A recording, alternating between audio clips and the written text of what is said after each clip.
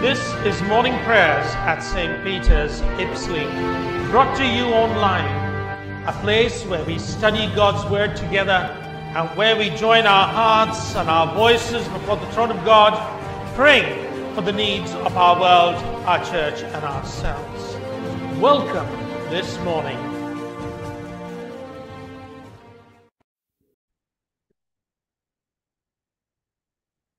Very good morning to everyone on this Monday, the 8th of May. Thank you for joining with me this morning. At the risk of sounding like Michael Caine, my name's Phil Wilson, and I'm an authorised lay minister in the parish of St Peter's, Ipsley. Let's begin with an opening prayer. Let us pray. Eternal God, our beginning and our end, accompany us in this day's journey. Dawn in our darkness. Open our eyes to praise you for your creation and to see the work you set before us today. Take us and use us to bring to others the new life you give in Jesus Christ our Lord. Amen. This day, Julian of Norwich is remembered in the Church of England calendar. Born in 1342, she lived an unusual life at St. Julian's Church in Norwich. She was an anchoress, that's someone who never leaves their room adjoining the church. When she was 30 years old, she became seriously ill and was not expected to live. Then on the seventh day, she was healed and had a series of 15 visions in which she was led to contemplate the Passion of Christ.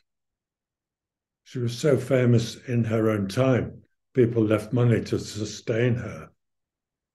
Her greatest contribution to the church was her book, Revelations of Divine Love, which revealed an intelligent, sensitive, and down to earth woman whilst addressing doubt, fear, and deep theological questions. Spread a collect prayer for Mother Julian.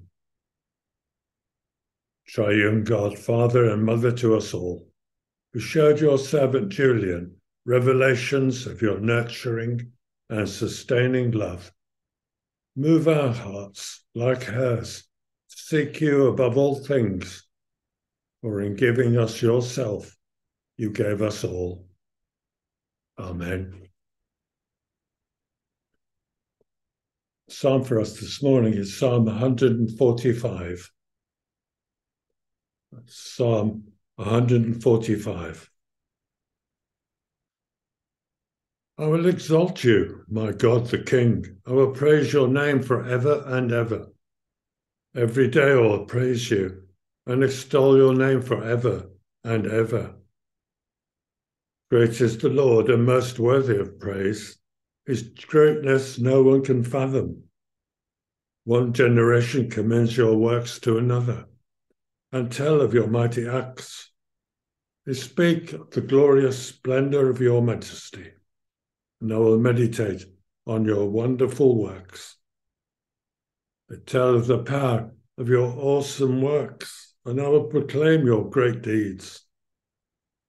They celebrate your abundant goodness and joyfully sing of your righteousness. The Lord is gracious and compassionate, slow to anger, and rich in love.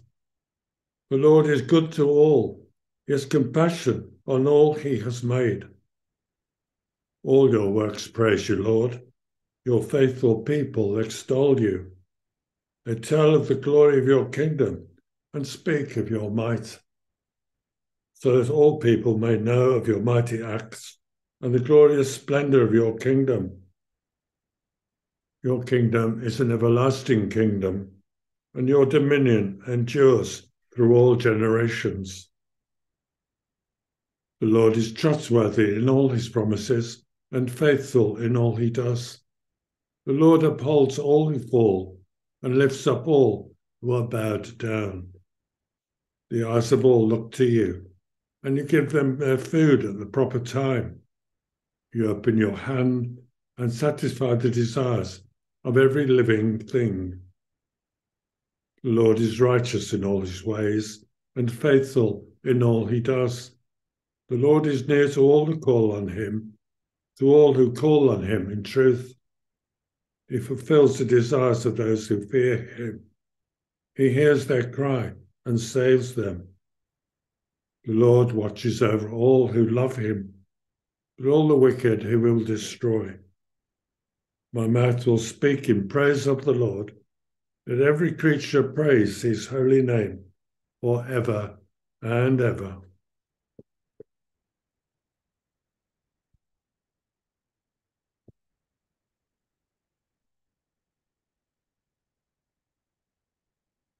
This is one of seven times of seven psalms of praise which come at the end of the book of Psalms. It's a psalm which reflects God's loving care towards all he has made, human and animal. The Lord is near to all who call upon him, so that should encourage us to pray to him regularly, not just in the joyful times, but also in the difficult times. Heavenly Father, you are full of grace and compassion, patient and kind, and great in faithful love to all that you have made. You are good and for all eternity. We bless and praise your holy name. Amen. The Old Testament reading is from the book of Deuteronomy, chapter 16, reading from verse 1. That's Deuteronomy chapter 16, reading from verse 1.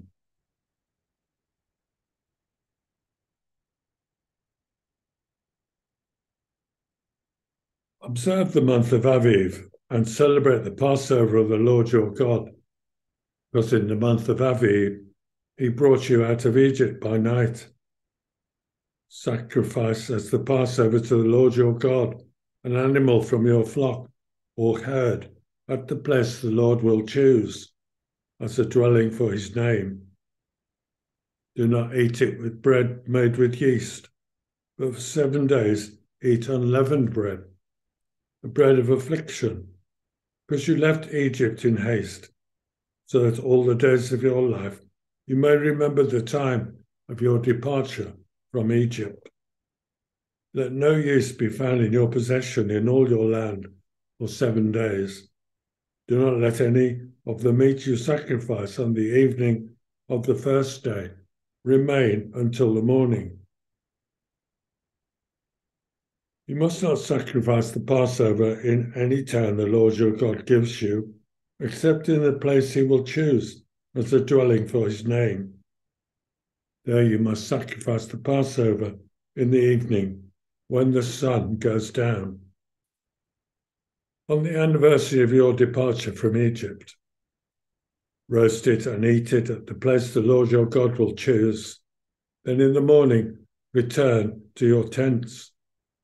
For six days, eat unleavened bread, and on the seventh day, hold an assembly to the Lord your God, and do no work. Count seven weeks from the time you begin to put the sickle to the standing corn. Then celebrate the festival of weeks to the Lord your God by giving a freewill offering in proportion to the blessings the Lord your God has given you. And rejoice before the Lord your God at the place he will choose as a dwelling for his name. You, your sons and your daughters, your male and female servants, the Levites in your town, and the foreigners, the fatherless, and the widows living among you. Remember that you were slaves in Egypt and follow carefully these decrees. Celebrate the Festival of Tabernacles for seven days after you have gathered the produce of your threshing floor and your winepress. Be joyful at your festival, you, your sons and daughters, your male and female servants, and the Levites, the foreigners, the fatherless, and the widows who live in your towns. For seven days, celebrate the festival to Lord your God at the place the Lord will choose For the Lord your God will bless you in all your harvest and in all the work of your hands, and your joy will be complete. Three times a year, all your men must appear before the Lord your God at the place he will choose, at the festival of unleavened bread, the festival of weeks, and the festival of tabernacles. No one should appear before the Lord empty handed. Each of you must bring a gift in proportion to the way the Lord your God has blessed you. Appoint judges and officials for each of your tribes in every town the Lord your God is giving you, and they shall judge the people fairly.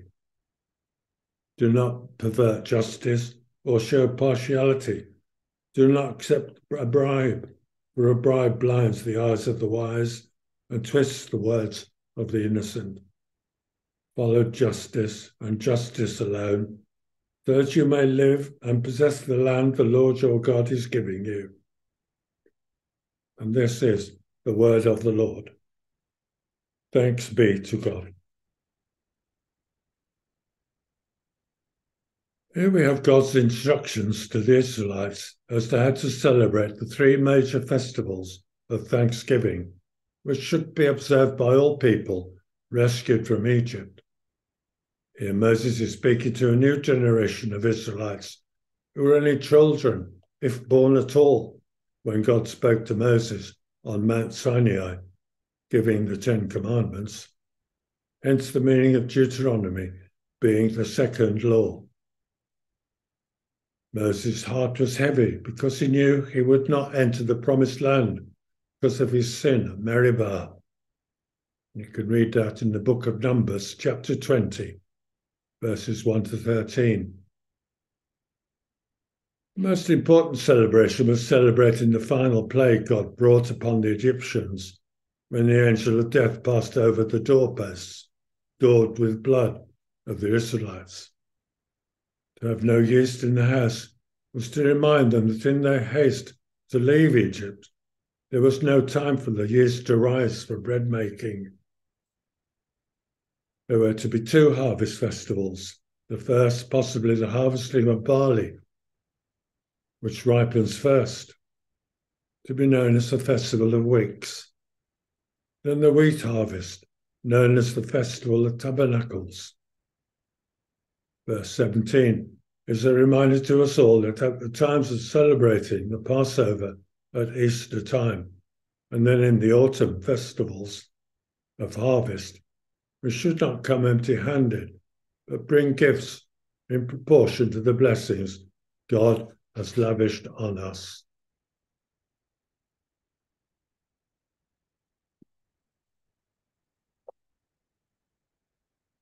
New Testament reading is from the book First Peter.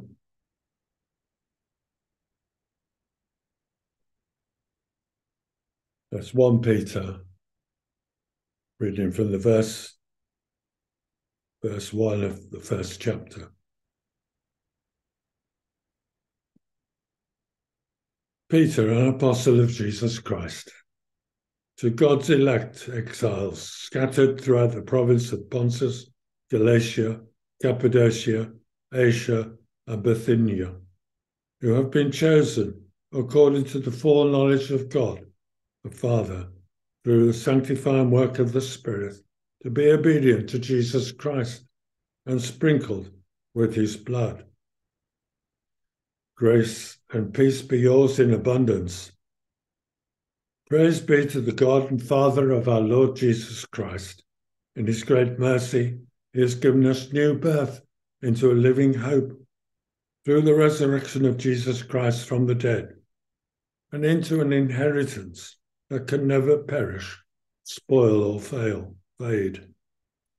This inheritance is kept in heaven for you, who through faith are shielded by God's power until the coming of the salvation that is ready to be revealed in the last time.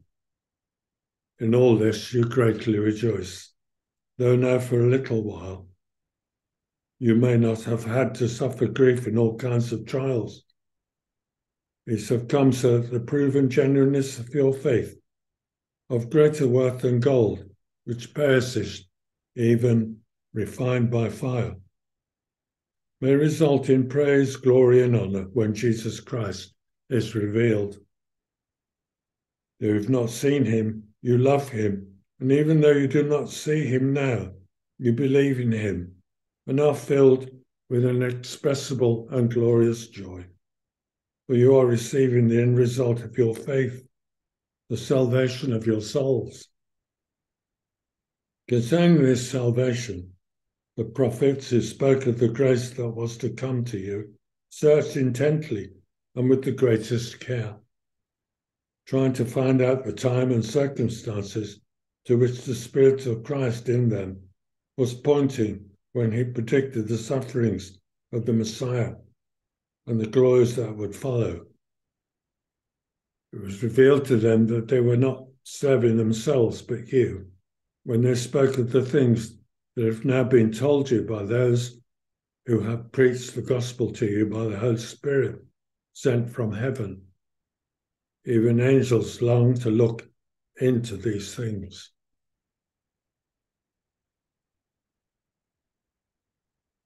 And this is the word of the Lord. Thanks be to God.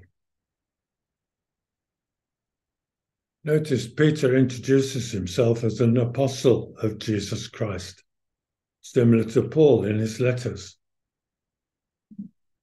Peter spoke more words to Jesus than the other disciples. He was the one to proclaim Jesus as the Christ, the one who denied knowing Jesus three times, the only one commissioned by Jesus three times to feed his sheep. All of which gives him the authority to preach God's word to the scattered churches across countries to which Christian Jews had fled after the Romans destroyed Jerusalem. In verse 2, these Christians are described as chosen according to the foreknowledge of God. Other translations use the word elect. When we've turned to the Lord, it is as if He votes for us, and we have conferred on us a status of being children of God to work for God's kingdom here on earth. Praising God features in all our three readings. Peter praises the God and Father of our Lord Jesus Christ for giving us a new birth into a living hope through the resurrection of Jesus Christ. In other words, we are born again when we turn to Christ. In this we greatly rejoice. For now, for a little while, we may suffer grief in all kinds of trials how we deal with setbacks of one kind or another depends on our faith to believe God is in control. And His purpose is to give good gifts to all those who believe in Him. In verses 10 to 12, we're reminded of the prophets and others who tried to predict the coming Messiah. There are various interpretations of the last verse. Even angels long to look into these things. Maybe God gets his angels to look over the work and plans of his church, or even look into our lives.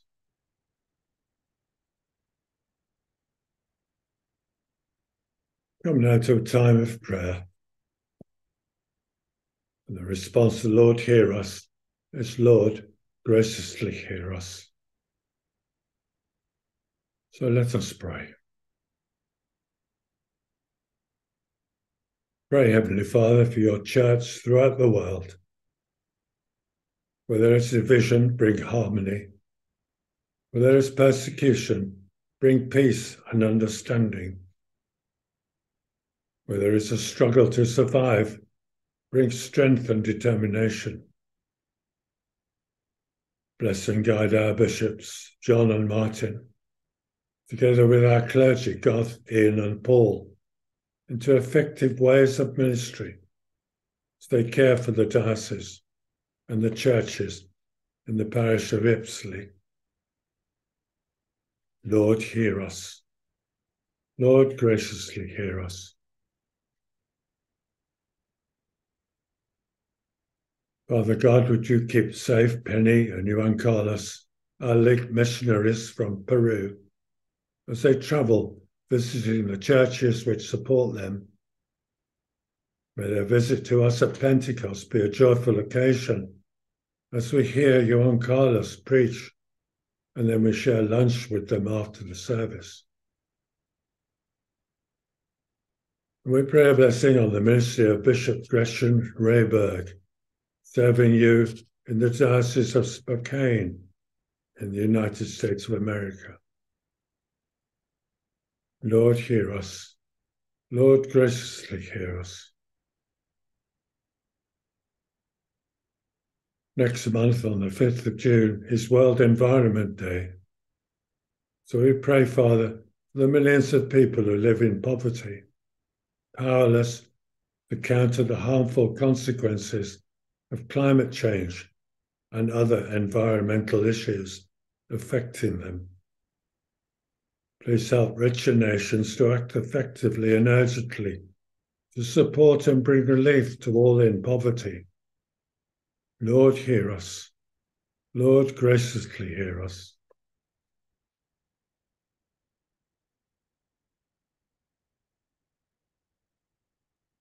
Heavenly Father, we pray for our government facing great problems over the economy, the National Health Service, unsettled striking workers, not to mention revelations of misconduct by some MPs.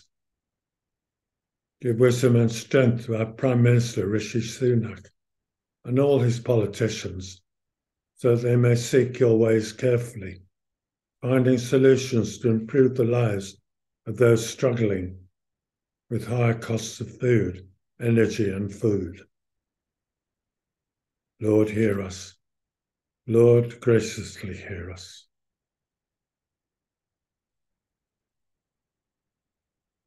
Heavenly Father, after the pomp and circumstance of Saturday's coronation, we thank you for keeping everyone safe. Give strength and wisdom to our new King Charles III in these early days of his reign, so we will know how and when to be effective for our nation.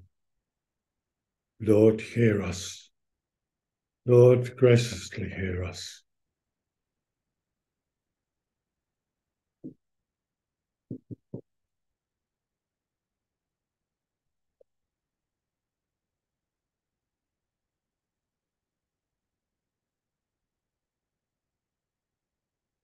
Pray for all the peace and security forces in our land.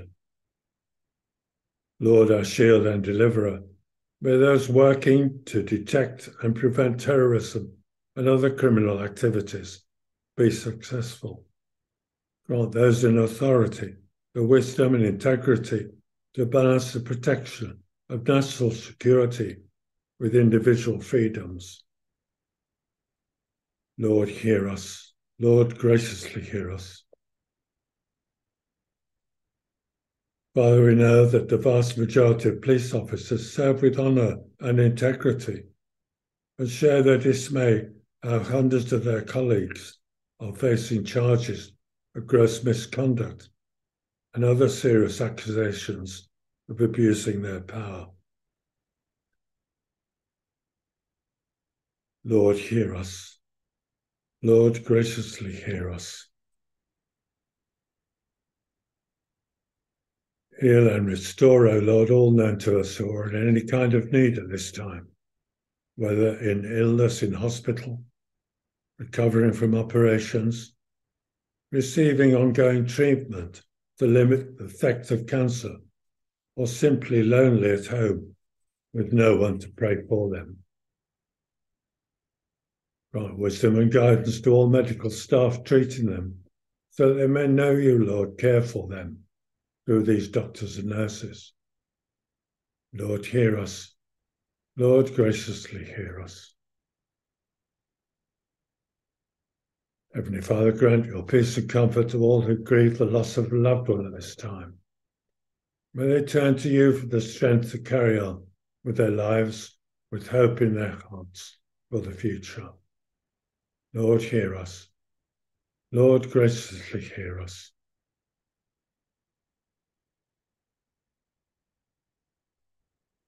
Gathering all our prayers together, we pray in the Spirit the prayer Jesus taught us. Our Father in heaven, hallowed be your name. Your kingdom come, your will be done on earth as in heaven. Give us today our daily bread. Forgive us our sins as we forgive those who sin against us. Lead us not into temptation but deliver us from evil. For the kingdom, the power, and the glory are yours, now and forever. Amen.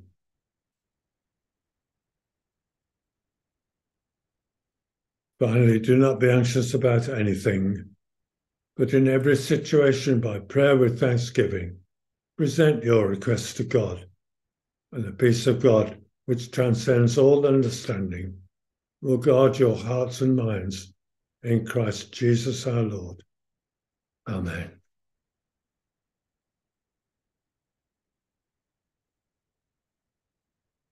A blessing as we go out into this new day.